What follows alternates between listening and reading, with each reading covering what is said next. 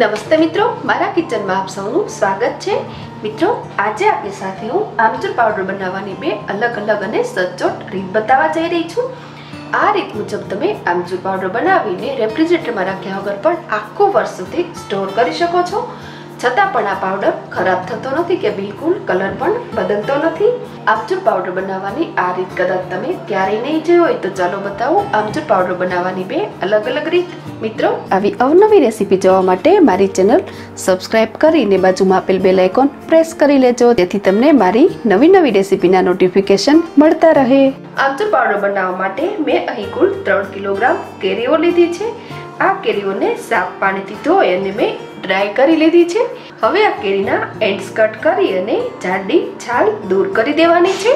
ઉપર જે greenish layer હોય એ દૂર થાય એ રીતે જાડી છાલ ઉતારી લેવાની છે. આ જ રીતે આપણે બાકીની બધી જ કેરીઓની છાલ દૂર કરીશું.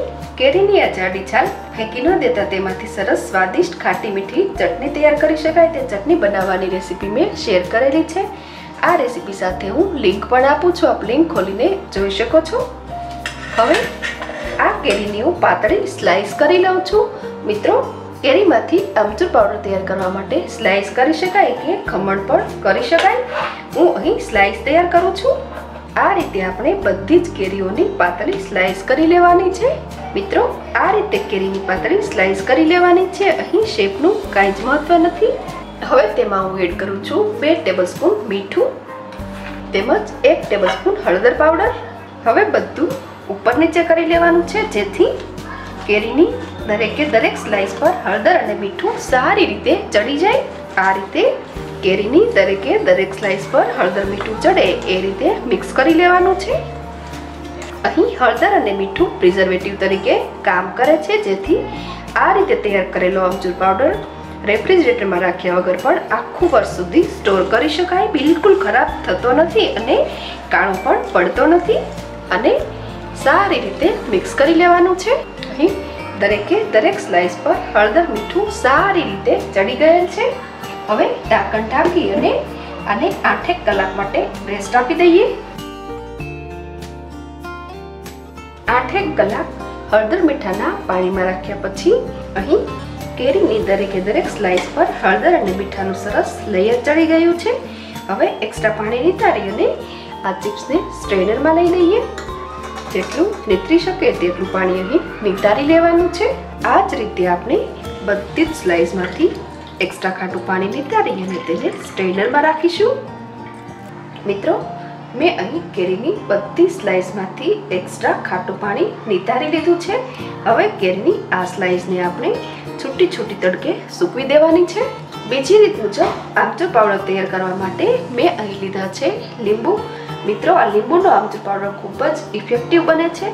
કોઈ પણ રેસીપીમાં આ આમચૂર પાવડર ખૂબ જ ઓછી ક્વોન્ટિટીમાં યુઝ કરવા છતાં પણ ખૂબ જ સરસ ટેસ્ટ આવે છે. આ રીત મુજબ આમચૂર પાવડર તૈયાર કરવા માટે અહીં આપણે આથેલા લીંબુ લેવાના છે, જેને નાનકડા પીસીસમાં કટ કરી લેવાના છે. જેટલી ક્વોન્ટિટીમાં આમચૂર પાવડર તૈયાર કરવો હોય, તેટલી ક્વોન્ટિટીમાં આથેલા લીંબુને નાનકડા પીસીસમાં કટ કરી લેવાના છે. તો હવે લીંબુના આ ટુકડાઓને આપણે તડકામાં સૂકવીશું. આ રીતે બની શકે એટલી છૂટી છૂટી આ સ્લાઇસને કોટનના સાફ કપડા પર તડકે સૂકવાની છે. તેના પર આછું કપડું કવર કરીશું જેથી તેના પર ડસ્ટ ન લાગે. સરસ ડ્રાય થઈ જાય ત્યાં સુધી સનલાઇટમાં તેને સુકાવા દઈશું. મિત્રો, કેરીની આ સ્લાઇસ ત્રણ દિવસમાં સુકાઈ ગઈ છે. મિત્રો, ત્રણ દિવસમાં તો અહીં આપણી કેરીની આ સ્લાઇસ સરસ રીતે સુકાઈ ગઈ છે. હવે આ સ્લાઇસને આપણે મિક્સચર જારમાં લઈ અને સાવ પાવડર બનાવવાનો છે. હવે થોડી થોડી કેરીની આ સ્લાઇસ મિક્સર જારમાં લઈ અને હું ક્રશ કરી લઉં છું. અહીં આપણે આ પાવડરને સાવ સ્મૂથ બારીક પીસવાનો છે. પીસી લીધા બાદ તેને ચાળી લઈશું. પાછા બચેલી મોટી કણીઓને મિક્સર જારમાં લઈ અને ફરી પીસી લેવાની. આ રીતે હું કેરીની બધી સ્લાઈસ પીસી અને ચાળી લઈશ.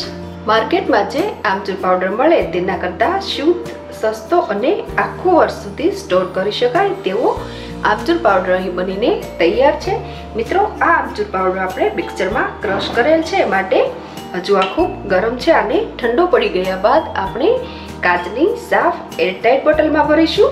મિત્રો, આથેલા લીંબુના ટુકડાઓને મેં પાંચ દિવસ સૂકવી દીધા છે. પાંચ દિવસ પછી આ ટુકડા સારી રીતે સુકાઈ ગયા છે. ટૂંકમાં લીંબુના ટુકડાઓમાંથી બિલકુલ મોઇસ્ચર ન રહે ત્યાં સુધી સુકવવાના છે.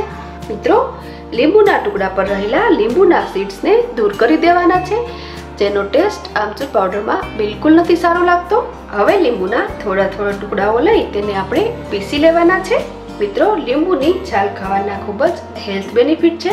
તેની ન્યુટ્રિશન વેલ્યુ પણ ખૂબ હાઈ આપવામાં આવે છે, પરંતુ છાલના ટેસ્ટના કારણે તે ખવાતા નથી, પરંતુ આ રીતે લીંબુ આથીને કે પછી આ રીતે આમચૂર પાવડર બનાવીને ખાવાથી ટેસ્ટ તો ખૂબ જ સરસ આવે છે, સાથે હેલ્ધી પણ બને છે.